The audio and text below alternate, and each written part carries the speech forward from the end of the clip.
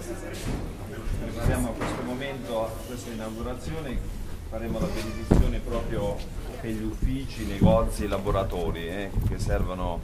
State attenti poi alle parole perché un, la benedizione ha un significato, eh. non è come molti vengono a benedire la macchina e dicono beh Don Angelo ha benedetto la macchina, posso andare a 150, 160, 200 all'ora. No, no.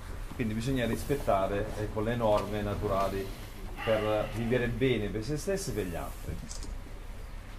Nel nome del Padre, del Figlio e dello Spirito Santo. Amen. Dio che ha chiamato l'uomo a cooperare alla sua creazione, sia con tutti voi e con il suo Spirito. Cristo Gesù ha manifestato la grande dignità del lavoro quando egli stesso, verbo del Padre fatto uomo, vuole essere chiamato figlio del carpentiere e usò con le proprie mani gli attrezzi nell'umile officina di Nazareth.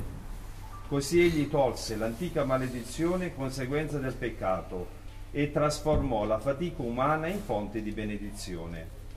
Quando infatti il lavoratore si applica alle cose materiali e temporali, facendo del quotidiano impegno un'offerta al creatore, purifica se stesso, sviluppa con il braccio e con l'ingegno il progetto della creazione.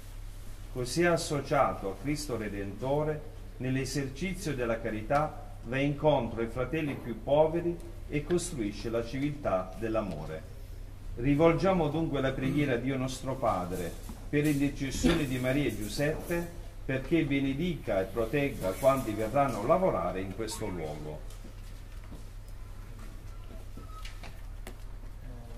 Ascoltate la parola del Signore dal Vangelo secondo Marco.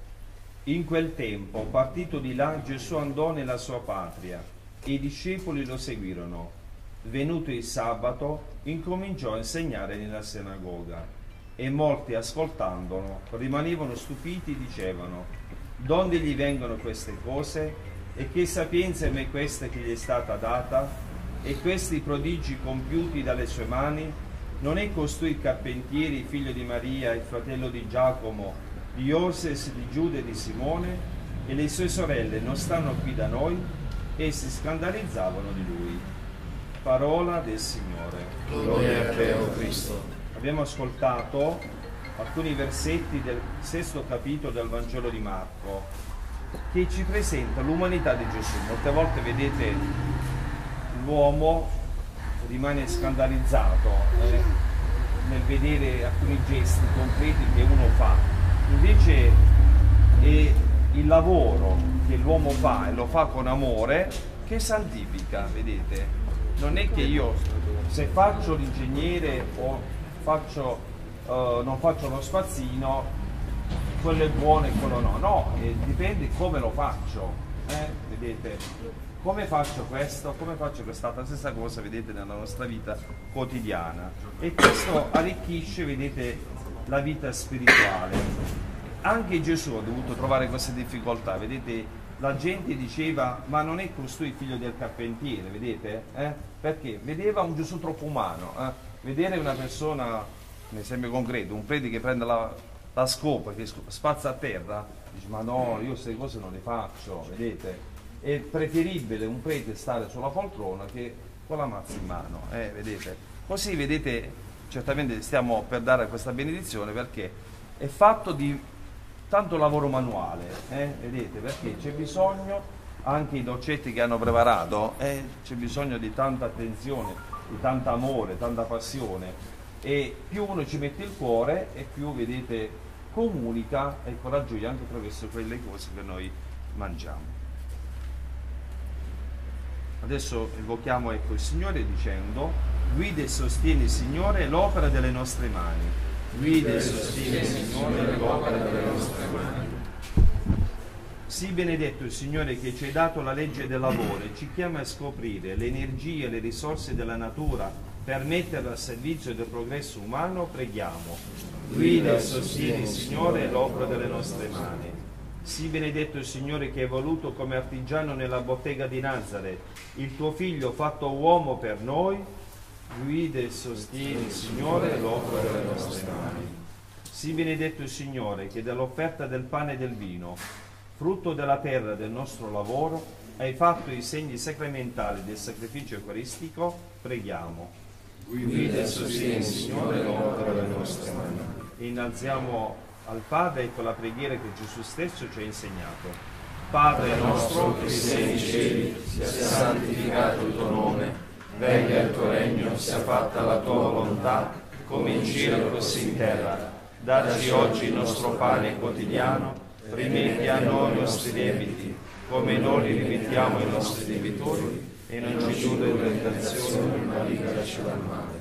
O Dio, creatore e Padre, che hai affidato la terra e i suoi frutti alle mani dell'uomo, perché mediante il lavoro si faccia strumento della tua provvidenza, benedici quanti usufruiscono come esercenti o acquirenti di questo servizio. Fa che osservino sempre la giustizia e la carità e così concorrano al bene di tutti, lieti di operare per la crescita della società. Per Cristo nostro Signore. Amen. Ecco la benedizione che abbiamo invocato eh, sia per gli acquirenti, eh, tutti i clienti, ma anche chi fa parte di questo luogo che deve lavorare. Però devono osservare due cose, vedete la benedizione. È una risposta reciproca, vedete? La giustizia e la carità. Eh? La giustizia, vedete, ognuno deve dare quello giusto. Eh? Né il proprietario deve imbrogliare il cliente, né il cliente deve imbrogliare il proprietario, in poche parole. E poi la carità, vedete, la carità è la sintesi di, è la terza virtù teologale che esprime che cosa? L'amore, ma dietro questa parola possiamo dire ci deve essere l'accoglienza, eh, la benevolenza. Se una persona va in un negozio e si sente accolto, eh, vedete, ritorna di nuovo. Se uno dice sono andato in quel negozio, quando era acida quella persona, vedete, eh, può essere pure la persona più importante della città, non ci torna più. Allora, vedete, è importante reciprocamente sia le persone che entrano, sia i clienti che chiedono, ma anche chi lavora, devono vivere questa esperienza, l'amore e la giustizia, per il bene della società. Adesso compieremo un gesto che ci ricorda ecco, l'adesione a Cristo, che è la pietra fondamentale che ci sostiene. Ravvivi noi, o oh Padre, nel segno di quest'acqua benedetta, l'adesione a Cristo, pietra fondamentale che ci unisce e pietra angolare che ci unisce nel tuo amore.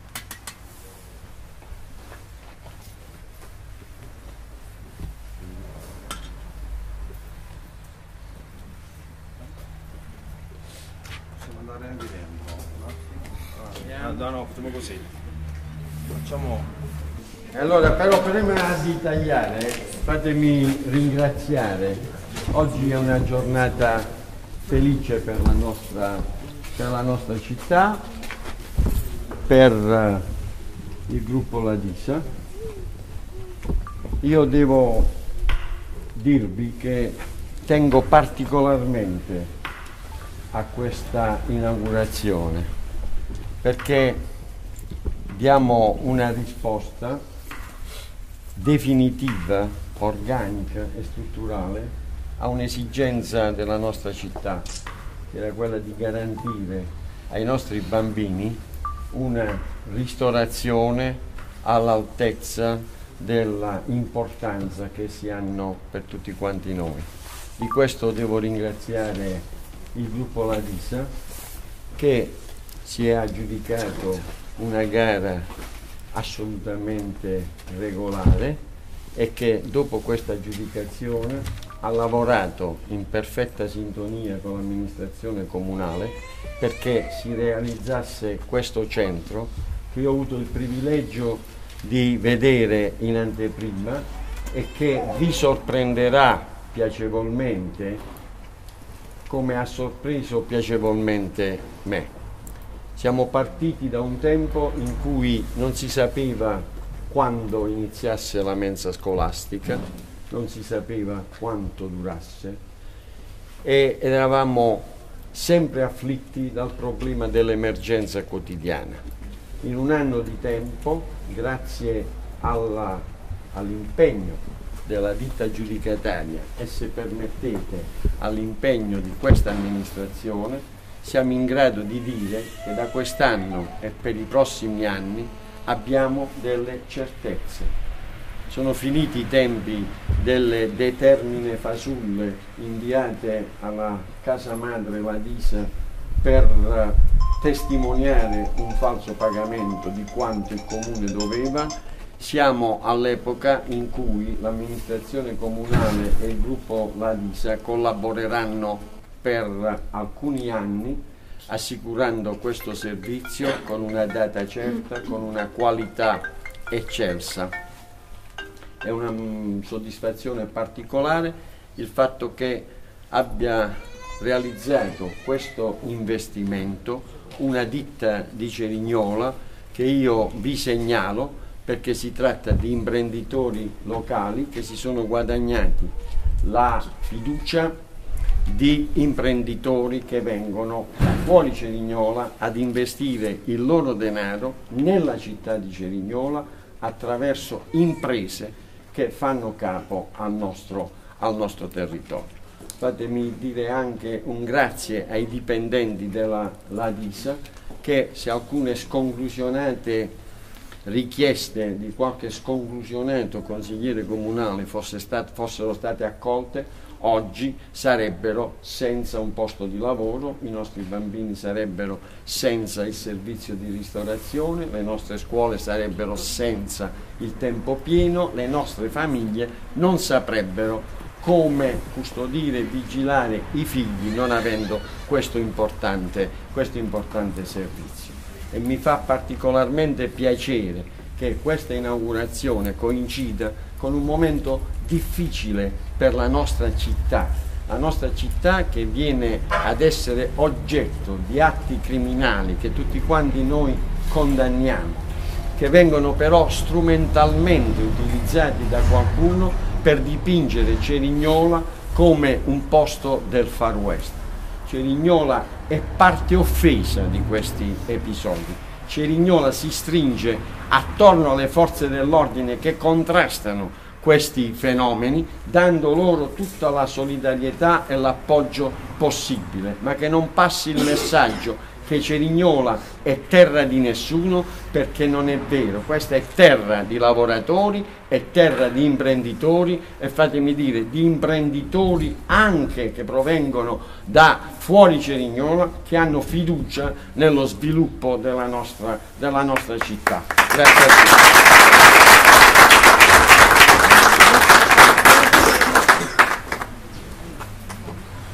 Bene.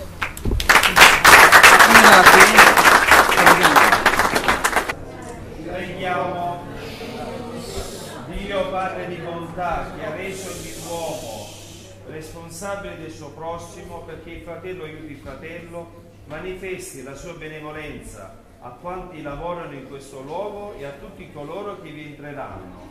Amen. E la benedizione di Dio Onnipotente, Padre e Figlio e Spirito Santo, discenda su di voi, con voi rimanga sempre. Amen. Amen. Benediciamo il Signore e diamo grazie a Dio. Facciamo un applauso al proprietario.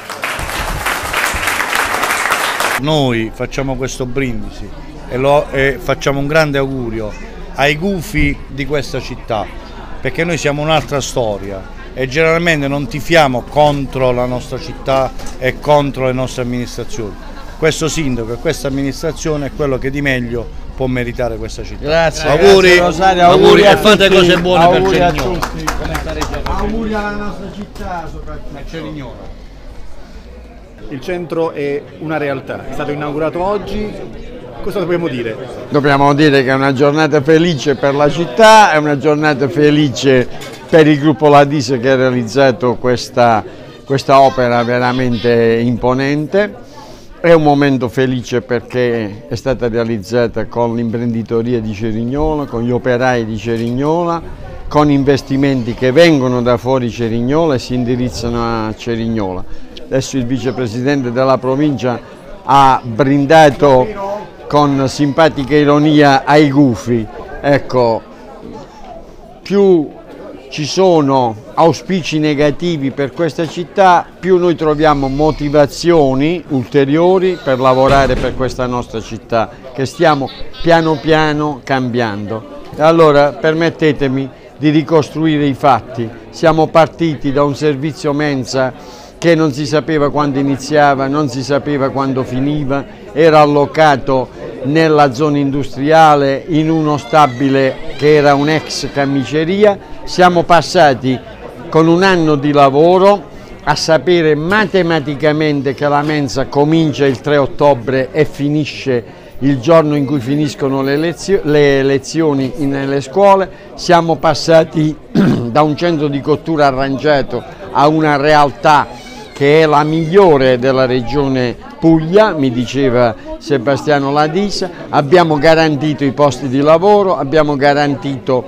il tempo pieno nelle nostre scuole, abbiamo garantito i posti di lavoro alle maestre che hanno bisogno del tempo pieno per avere collocazione lavorativa a Cerignola, pure qualche maestra che ha tifato contro questa amministrazione, quindi siamo assolutamente contenti. La risposta che migliore che potesse dare Cerignola agli ultimi fenomeni di criminalità. Noi non ci facciamo intimidire, non ci facciamo spaventare, soprattutto non si intimidiscono e non si spaventano gli imprenditori che hanno individuato come il gruppo Ladisa Cerignola come sede dei loro investimenti. Credo che sia veramente una giornata, una giornata felice.